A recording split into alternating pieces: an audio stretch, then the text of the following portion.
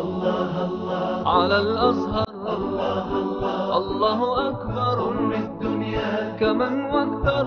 قلت اوصفها أنا مش هنصفها واكفيها الله الله. يا رايحين على مصر مين يبعت سلامي في كلمتين يا هلا الله مشتاق لناسها الطيبين ودي ما فيها مخلصين يا ما شاء الله. أزهر العلماء تشاء الله ادعي لهم رب السماء وقولوا آمين إن شاء الله إن شاء الله. أعوذ بالله من الشيطان الرجيم. بسم الله الرحمن الرحيم. الحمد لله رب العالمين وأفضل الصلاة وأتم التسليم على المبعوث رحمة للعالمين سيدنا محمد وعلى آله وصحبه أجمعين. اللهم علمنا ما ينفعنا وانفعنا بما علمتنا وزدنا علما وفقهنا في الدين وعلمنا التأويل واغفر اللهم لنا أجمعين. ولا حول ولا قوة إلا بالله العلي العظيم.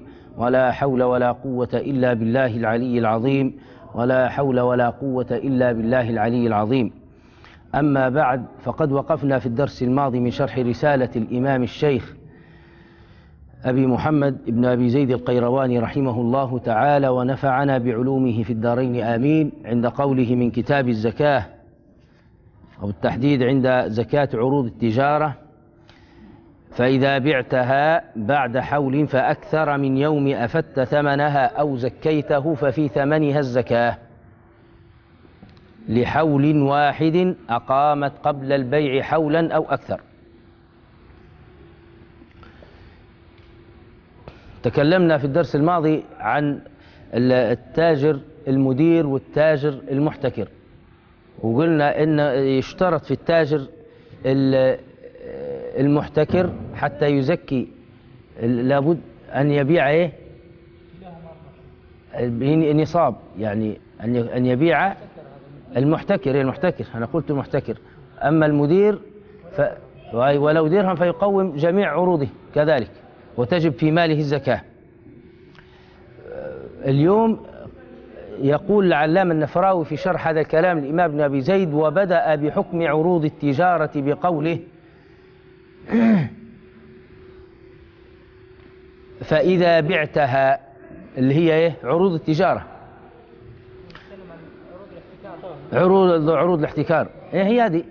التجارة اللي هو الاحتكار. بس الاحتكار نعم خص بعد آه، بقوله فإذا بعتها أو استهلكها شخص وأخذت قيمتها.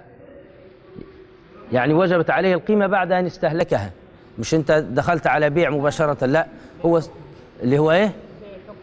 أي بيع ال- المجازي. نعم بيع المجازي أو بيع الحكمي هو هذا. قال أو استهلكها شخص وأخذت قيمتها. أي عروض التجارة على وجه الاحتكار.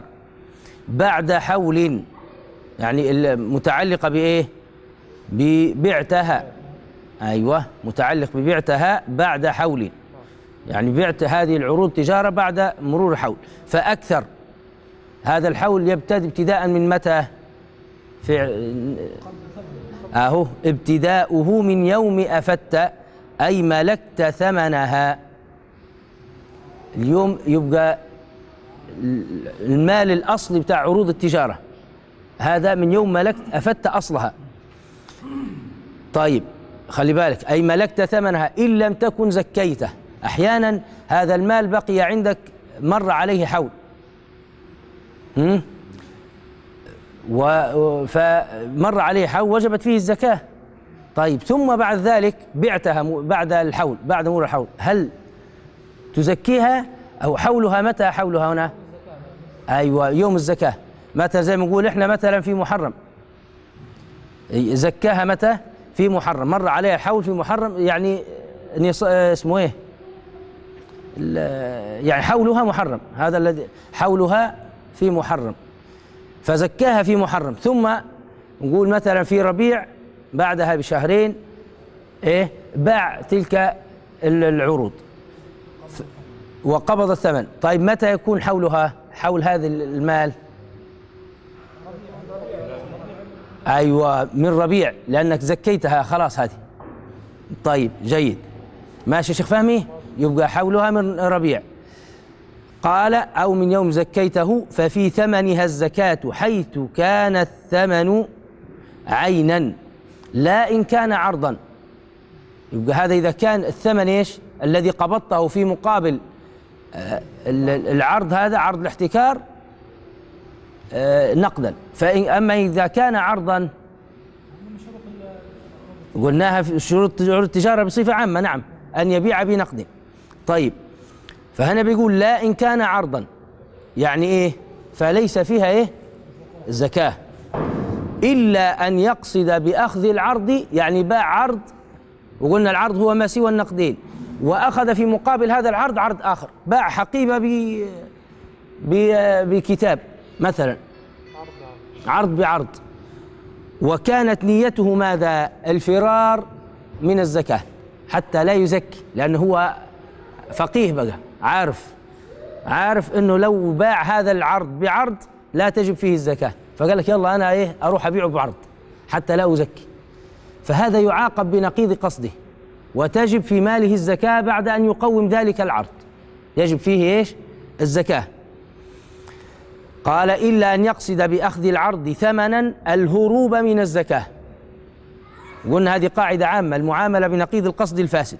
فتجب عليه أي الزكاة لحول واحد سواء أقامت قبل البيع حولا أو أكثر. يبقى زي زي إيه زكاة إيش؟ زي زكاة الدين. إحنا مش بنقول زكاة الدين. تزكى لعام واحد ولو بقيت عند المدين أعواما. فكذلك هنا. طيب يبقى إذا عندما يقبض ال- ال- الثمن ثمن عروض الاحتكار يستقبل بها إيه؟ حول حولا. أقامت قبل البيع حولا أو أكثر. ويشترط في وجوب الزكاة على المحتكر أن يكون باع بنصاب. وهذه كما قدمنا يعني ذكرها الشيخ فيما سبق. طيب واحترز بقوله بعتها بعد حول عما لو باعها قبل تمام الحول. فإنه لا يزكي إلا بعد تمامه. إحنا قلنا حول يعني الآن الزكاة بدأ في التجارة متى؟ في محرم. فبعد في الشهر الحادي عشر إيش؟ باعها قبل تمام الحول أهو. يبقى شهر الحادي عشر من يعني الأشهر العربية. ذي ذي الحجة. آه، بعد ذي القعدة. نعم. طيب فباعوا في ذي الحجة. ذي الحجة رقم 11 أنا عشان حتى نعرف أرقام الشهور. يعني قبل تمام الحول. ف فما الحكم في المال أو في هذا العر... هذه العروض الاحتكار التي باعها قبل مرور الحول؟ هل تجب فيها الزكاة؟ أيوه. إلا بعد تمام الحول. فتجب الزكاة فيها بعد تمام الحول. يبقى حيزكيها متى؟ في محرم. يبقى حينتظر آه، شهر تاني. واضح الكلام؟ طيب. تنبيهان. الأول إذا عرفت ما قدمته لك من الشروط ظهر لك ما في كلامه من الإجمال الحامل عليه الاختصار. الثاني طيب هذا ما ليس فيه شيء يعني ربما يفهم من كلام المصنف آه، ولو ربما يفهم من كلام المصنف ولو بالكناية حتكون هكذا.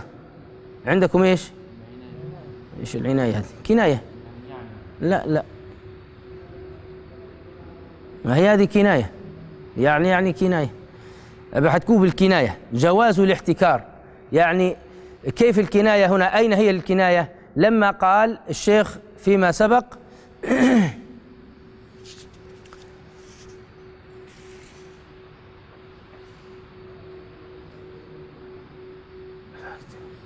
فإذا بعتها بعد حول آه، فأكثر من يوم أفدت ثمنها أو زكيته ففي ثمنها الزكاة لحول واحد. يعني الكلام هذا متسلط على من؟ على المحتكر. الكلام في المحتكر. فالشيخ أخذ منه يؤخذ من هذا الكلام حكم آه، آه، الاحتكار. وجوازه أن الاحتكار جائز في مذهب مالك بشرطه كما سيذكر الشيخ. قال إذا ربما يفهم من كلام المصنف ولو بالكناية جواز الاحتكار وهو كذلك عند مالك. رضي الله عنه. ولو في الأطعمة يعني أن الأطعمة هي اللي حصل فيها الخلاف. قال لك الشيخ يعني النفراوي يقول ولو في ولو كان ذلك الاحتكار في الأطعمة فهو جائز عند مالك. لكن يقيد الجواز بما إذا لم يترتب عليه ضرر بالناس. وإلا بأن ترتب عليه ضرر. ما الحكم إذا ترتب عليه ضرر؟ فلا يجوز. إذا كان في ضرر على الناس يروح يجمع كل آه، يعني تلك السلعة من السوق فيوقع الناس في حرج شديد يبدو في حاجة إليها. فالشيخ قال وذلك بأن أهو بيبين أهو. بيبين كيف يكون الضرر. بأن يشتري جميع ما في السوق بحيث لا يترك لغيره أي من التجار ولا من عامة الناس شيئا مما يحتاجون إليه. فيمنع يعني إيه يمنع؟ يعني يحرم. يحرم هذا الشراء. ولذلك المالكية يعاقبونه بأن يبيع بالثمن الذي اشترى به حتى لا يكسب أي شيء. لأنه لو لو باع بالثمن السوق أو فيه مكسب يبقى آه، يبقى كسب. فالمالكية عاقبوه يعني إذا كان الشيخ نص عليها بأنه يبيع بنفس ما اشترى من غير أن يكسب شيئا. قال ولا يمكن إلا من شراء قدر حاجته. يعني يترك له بعض تلك السلعة. خذ هذه. تبقى عندك. لكن باقي السلعة تؤخذ منه تشترى منه بنفس الثمن الذي اشترى به وتوزع على بقية التجار حتى تكون في متناول عامة الناس. واضح الكلام هذا؟ طيب ثم قال آه، في المتن بيقول إلا أن تكون مديرا بخاطب القارئ بيقول له إلا أن تكون تاجرا مديرا يعني لا يستقر بيدك عين ولا عرض. هو هذا ال- ال- المدير. هو الذي لا يست... يعني زي ما نقول إحنا السوبر ماركت المحلات الحوانيت هؤلاء الذين يبيعون بيبيع على طول. غلي غلت السلعة ورخصت بيبيع بأي سعر. ولا ينتظر. مش يقول لك لما ترخص قلت لا مش هبيع أنا. آه، لا هذا هو إيش؟ المدير. قال لا يستقر بيدك عين نقد يعني أموال ولا عرض سلع. تقوم. أهو. إلا أن تكون مديرا فإنك تقوم عروضك كل عام. يبقى المدير يقوم متى؟ كل عام يقوم السلع التي عنده العروض التي عنده. وتزكى ذلك وتزكي ذلك مع ما بيدك من العين. يبقى الم- المدير بيزكي ال- الأموال الناضة ال- النقود ويزكي العروض بعد تقويمها. يروح يشوف قيمتها كم تساوي؟ ثم يخرج أيضا زكاة تلك السلع. كل عام هكذا. يقول الإمام النفراوي في شرح هذا قال وثنى بالكلام على عروض الإدارة. إذا بدأ بماذا هو؟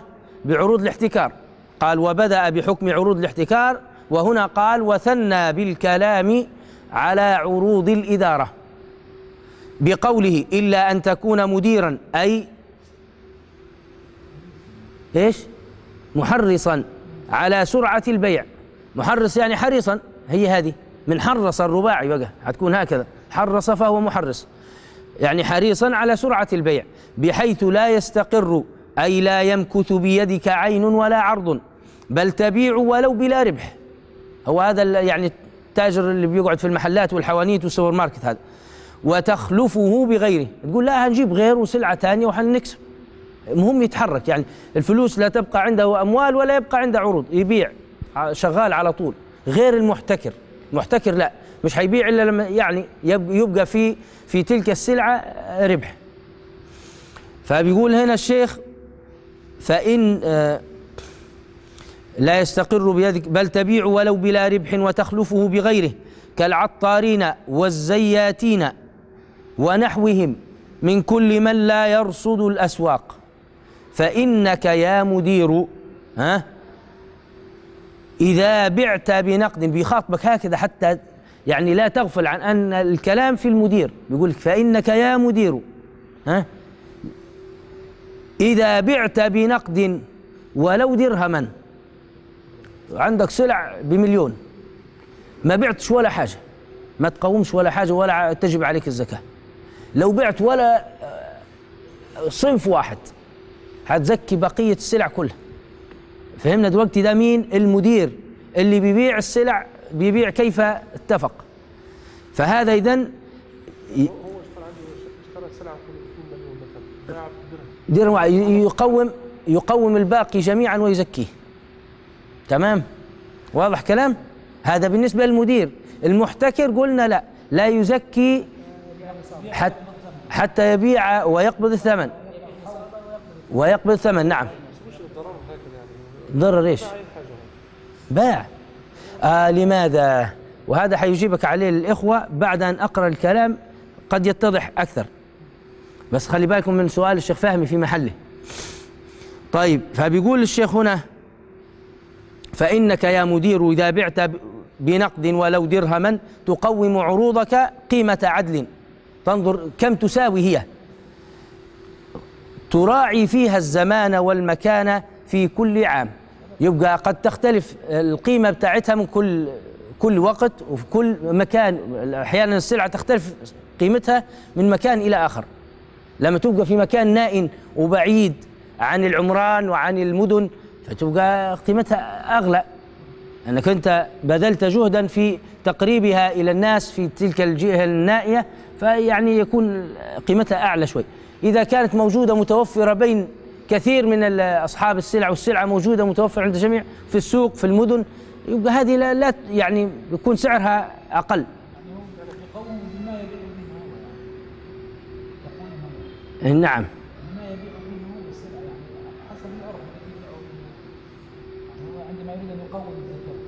بما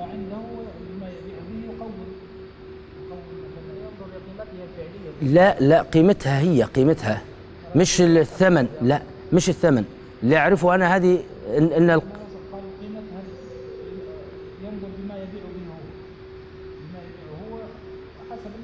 طيب ما قال الشيخ هكذا ليه؟ لو كان يقصد هذا لما عجز عن التعبير بهذا ال- بالذي ي- تقول أنت باللي يبيع به. لا هو قيمتها. القيمة الثمن قد يزيد عن ال- القيمة. أو قد ينقص ثمن أيضا. أحيانا يزيد وأحيانا ينقص. ولذلك تراعي في قيمتها ال- بدون المكسب بتاعها بدون ال- ال- القيمة أيوة قيمة حقيقية في السوق. وهذه يعرفها التجار كلهم. يعني بالذي يخرج بالذي اشترى. على الذي اشترى. لا لا. ما أنتم مش فاهمين. ما هو لو كان اللي اشترى قال لكم اللي اشترى. لا قيمتها هي السلعة هذه. في القاهرة في هنا في مدينة نصر غير لما تبقى في آه، مثلا حلوان مثلا. فيبقى قيمتها باعتبار الزمان والمكان. ما هو لو ما تباع به بين التجار يعني أيوه هو هذا. هو شوف أنت قلت بين التجار مش لعامة الناس. خلاص طيب جينا. يبقى رجعنا القيمه إحنا هي هذه. القيمة ال- القيمة.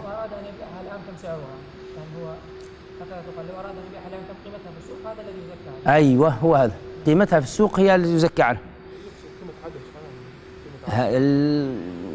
تحقق العدل. أيوه. ما فيش ظلم لا هكذا لا عليك أنت ولا على ال- إيه على ال- ال- الفقير و... نعم. طيب قال كل والتقويم عام في سائر عروضه. المعدة للتجارة ولو طعام سلم ولو طعام سلم.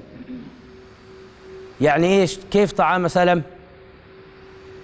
كيف يزكيه؟ كيف الصورة؟ الصورة أعطيني الصورة هكذا. لو عرفت تصورها يبقى تمام أنت فاهم بقى. يعني هو يعني هو باع طعاما إلى أجل إلى أجل السلم؟ فالاصل انه الاصل انه لا لا يزكيه. انت هتلخبط أه إيش؟ اهو. هو اشترى طعاما نعم. عندما اشترى وبقي لم يأخذه بعد أيوه. في في إذا حل عليه عام يزكيه إذا كان مرجوا وغير ذلك يا يا طيب هو اذا هو أخذ طعاما عن طريق بيع السلم يعني إلى أجل. فهذا يقومه أو لا يقومه؟ يقومه كالسلع التي عنده العروض التي عنده في المحل يقومها كذلك. فيقوم معها أيضا الطعام السلم هذا الذي اشتراه السلم. وإحنا قلنا السلم هذا هو بيع آجل في الذمة آه، بعاجل ف وأقله خمسة عشر يوما. أقل مدة السلم كم؟ خمسة عشر يوما. فإذا اشترى شيئا لمدة خمسة عشر يوما فإن هذا ال- ال- السلعة التي اشتراها هذه يقومها كذلك. ولو بارت أي كسدت ما مش ليست رائجة هذه السلعة عنده سنين لأن بوارها وكسادها لا ينقلها للقنية ولا للاحتكار. يعني تبقى عروض إيش؟ تجارة. طيب يبقى خلاص عرفنا الآن يقوم العروض المدير يقوم العروض إذا باع ولو بدرهم فيقوم جميع العروض التي عنده. ثم قال وكذا ديونه أي أو ديونه أي يزكي ديونه التي على الناس المؤجلة الكائنة من بيع. خلي بالك يبقى هذا التاجر المدير له ديون على ناس الخارج له ديون. هذه الديون التي على الناس مؤجلة لم يحل أجلها. يعني زي ما نقول إحنا بعد ثلاث أربع شهور. مؤجلة. وهذه الديون ترتبت على المدين من بيع لا من قرض. يبقى إحنا عندنا الدين أعم من أن يكون من قرض أو من بيع. فالمراد هنا أن يكون الدين مترتبا عن إيه؟ عن بيع معاملة بيع. فاشترى مني بدين. مش أنا رحت سلفته قال لي والله اديني آه، سلف. لا هذا أمر ثاني أتكلم عليه هل يقومه أو لا يقومه. لكن الذي يقومه الآن هو إيش؟ الديون المؤجلة التي ترتبت من بيع أو عن بيع. كانت عروضا أو نقودا. يعني أنا لما أخذت السلعة هذه بعتها بعرض. فترتب في دينه في في ذمته ماذا؟ عرض. المفروض يأتيني بطاولة. هذا هو العرض. ماشي؟ يبقى هذه ال- ال- الطاولة التي ترتبت في ذمته عن عن شيء أنا بعته له كتاب حقيبة أي شيء في مقابل هذه الطاولة يبقى عرض بعرض هذه. فيقوم ذلك العرض. واضح؟ طيب. يبقى هذا دين آجل من بيع. عروضا أو نقودا. أو اشترى مني تلك الحقيبة أو الطاولة بإيه؟ بنقود. لكن لم يدفع لي هذه النقود. ديون. فهذه الديون التي الدين الذي عليه نحسبه إيه؟ في الزكاة. بالنسبة للمدير. كيف؟ قيمة الدين وليس الدين إذا كان مرجوع حتى ولو كانت نقود سيدفع قيمة مم. يعني هو سيقوم الدين على على النقود التي دفعها أو قيمة ذلك الدين. أي نعم هو ما هو الدين؟ حيقومه بالعرض ثم يقومه بال- بالنقد. هو هذا هذا المدير. نعم تمام أحسنت. هو هذا المراد. يعني هو ال- النقد إذا كان نقد على على الدين الذي على المدين وقلنا ترتب من بيع كان نقدا فهذا النقد الذي عليه عشرة آلاف جنيه مثلا نشوف نقول كم هي كم تساوي كم قيمتها كم يعني ممكن نشتري بها من السلعة أو من العروض كذا وكذا. ثم أقوم تلك العروض بالنقد. لماذا هذا كل اللفة هذه؟ لما فيه من مصلحة الفقير. لأنه عادة يعني قيمة السلعة يعني النقد هذا الذي لك عليه لما بت- بترجعه للقيمة ثم تقويه مرة أخرى بيكون أحيانا أكثر بيكون قي- قيمته أو ثمنه أكثر من من النقد الذي الذي هو عبارة عن دين أولا. طيب حنشوف الشيخ ماذا يقول. يبقى إذا كانت عروضا أو نقودا حيث كانت مرجوة يبقى هذا قيد آخر. يعني المدير لا يقوم إلا إذا كانت هذه الديون مرجوة. يعني إيه مرجوة؟ آه يعني الرجل مدين آه موسر وعادته آه خلي بالك هو موسر عادته أنه لا يماطل. هو هذا. هذا نسميه مرجو. نعم. أو عادته السداد يعني.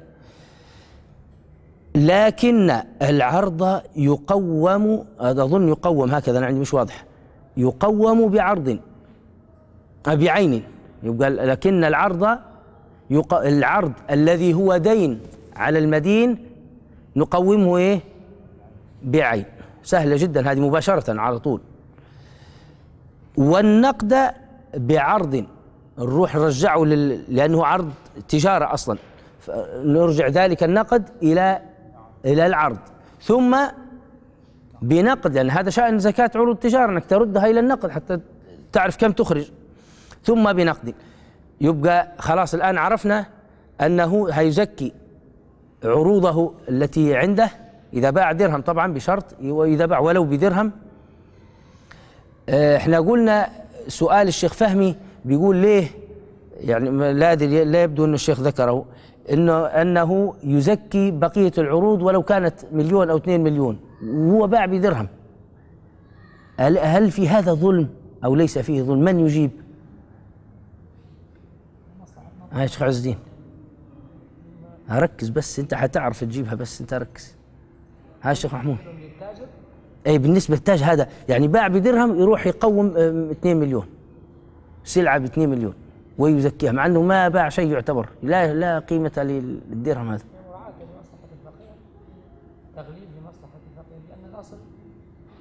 يبقى حنقول في المحتكر ليس لمصلحة الفقير. إنه لم يبيع هنا لا باع وأقل بنصاب. أقل من نصاب لأن الصورة لا تبقى واحدة ومع الفرق في الحكم. يبقى مش هي هذه آه، اسمها؟ مع الفارق ما ينفعش يكون هو السبب. شيخ محمود.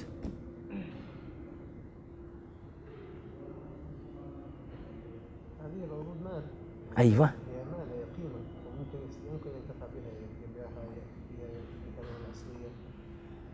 طيب المحتكر إحنا قلنا لابد أن يبيع نصابا. لا تجب زكاة في ماله إذا لم يبع بنصاب. لأنه هو محتكر غير مستفيد في كل وقت ما بيحركش الأموال مش ما فيهاش نماء حقيقي. يعني أحيانا بيقع- يقعد سنة ما يبيعش. هنا صح لو قلنا له والله يجب عليك الزكاة ولو لم تبع بنصاب هنا صح في ظلم لو طالبناه بال- بالزكاة في بقية أمواله وهو لم يبع نصابا. حتى النصاب الذي يبيع به خلق. نقول هذا يجب فيه الزكاة. طيب بالنسبة للمدير لو باع بدرهم لأنه عروضه سي سي سيخرج عنها الزكاة أيضا. فلا فرق أن يبيع بنصاب أو بغير نصاب. إحنا ما اشترطناش نصاب لأنه يعني تجب الزكاة في عروضه. فمن أجل هذا لم نشترط النصاب فيه. إحنا ما اشترطناش النصاب في المدير ليه؟ لوجوب الزكاة في عروضه كلها. هيزكي جميع العروض. ليش؟ لأنه هو دائم يدير المال دائما. يعني في أي لحظة يبيعه. يعني ما دام هيأه للبيع في أي وقت بخلاف المحتكر لا لا يهيئ لا يقول لك لا أنا الأيام دي مش هبيع. يبقى ما عندوش قابلية البيع أصلا لكن المدير عنده قابلية البيع في أي لحظة.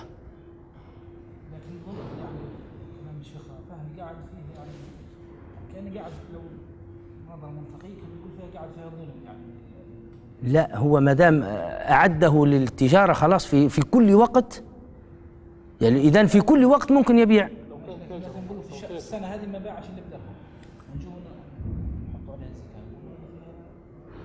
إيه لكن لا في مقابل أهو في مقابل تهيئته في كل لحظة إلى البيع.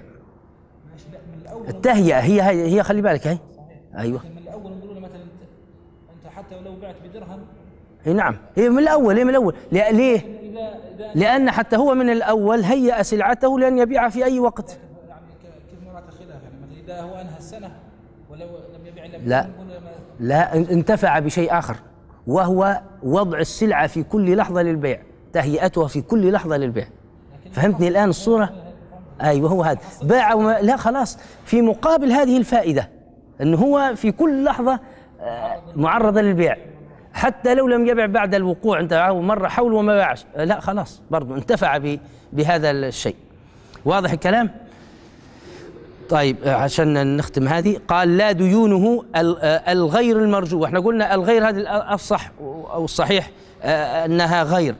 لا ديونه غير المرجوة ولا دين القرض. غير مرجوة يعني اللي هو خلاص اعتبرها في حكم إيه؟ الهالكة الضائعة. ولا دين القرض. أق- أقرض إنسان مالا.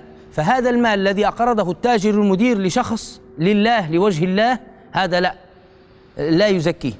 لأنه خرج لله سبحانه وتعالى. إلا بعد قبضه يقول طبعا القاعدة معروفة أن الدين آه، كما سيأتي أنه يزكيه لعام واحد ولو بقي عنده المدين أعواما. طيب وأما ديونه الكائنة من بيع إذا كانت من النقد الحال للمرجو فالمعتبر عددها. اللي هو معتبر عددها مش القيمة يعني كم هي عليه؟ ديون من النقد يعني أموال. أموال مش مش عروض. فهذه يزكي العدد بتاعها ألف يزكي على الألف المعتبر العدد. فمن بيع إذا كانت من نقد العال فالمرجو فالمعتبر عددها. وأما دين القرض فلا يزكى إلا بعد قبضه لسنة من أصله ولو مكث أعواما آه، على المدين. طيب وبعد الفراغ من التقويم يبقى إذا قومت وعندك ديون حالة. أو مؤجل هو الاثنين. بس الفرق في ماذا؟ في كيفية إخراجها. في الأولى إذا كانت عروضا تردها للنقد آه، فقط. وإذا كانت نقدا في المؤجلة تردها إلى عروض ثم تردها إلى نقد. طيب الديون ال- ال- المؤجلة من بيع طبعا بقية الشروط وأن يكون مرجو إلى آخره إذا كان حالا. الديون العينية الحاله ال- الديون آه، نعم. ديون الكائنة من بيع. إذا كانت من النقد الحال يعني نقدا وحالا ومرجو حل أجلها يعني. فالمعتبر ماذا؟ عددها. أي نعم فالمعتبر عددها. طيب يبقى الزكاة في الاثنين الديون ما دام مرجوة بيزكيهم بس الطريقة هي كيف هي المختلفة. ثم قال وبعد الفراغ من التقويم تزكي ذلك القدر المجموع من القيم. سلع وغيره مع ما بيدك من العين. ننظر إيش عندك أموال أخرى آه، ناضة فتخرجها. الأموال يعني فلوس هكذا أو ذهب. آه، نعم على حسب ما كان عنده من أن النقود كانت إما ذهبا أو فضة. مع ما بيدك من العين الناضة عندك. وكذلك النقد الحال المرجو المعد للنماء. لا إن كان سلفا على الناس بيعيد الشيخ. فلا يعتبر عدد الحال منه. ولا يقوم المؤجل على مشهور المذهب. ولا يقوم إيش؟ المؤجل على مشهور المذهب اللي هو إيش؟ بالنسبة للقرض سلف. وهذا معنى السلف يعني قرض. وتأولته المدونة بتقويم المؤجل يعني شراح المدونة أوله إيه؟ على تقويم المؤجل. طيب وصلى الله وسلم وبارك على سيدنا محمد وعلى آله وصحبه وسلم والحمد لله رب العالمين. يا ربي الله الله ومن قلبي كده مني الهوى صلى الفجر في مصر وحوالينا الله الله الله الله الله أكبر. أم قلت اوصفها أنا مش وكفاية